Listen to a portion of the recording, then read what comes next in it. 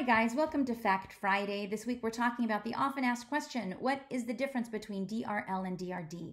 And, um, well, they've got some similarities, right? I mean, they both got the same task of reducing a behavior that's already in a person's repertoire, but just occurs occurs too frequently. And what you want to do is reduce the rate of response to a more natural rate of response. Maybe somebody's asking too many questions in uh, their classroom. So, how can you do it? Well, with DRL, yes, of course, you can set a rate criteria, and the client has to meet that criteria or anything lower to contact reinforcement. Now, this is where DRL and DRD are sort of thought of as synonymous. Uh, in fact, if you look through various textbooks, they have a really hard time really explaining the distinction, but there is one, and that is that DRL takes it one step further and also decreases the rate of response by increasing inter response time criteria.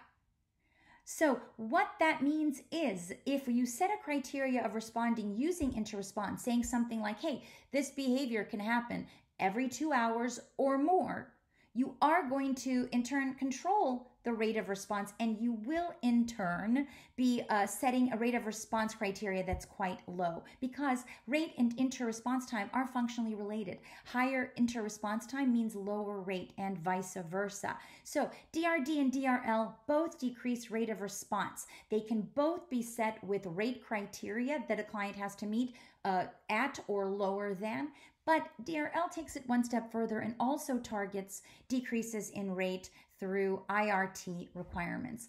I hope that helps, guys, and uh, let me know if you have any questions. I'll see you next time.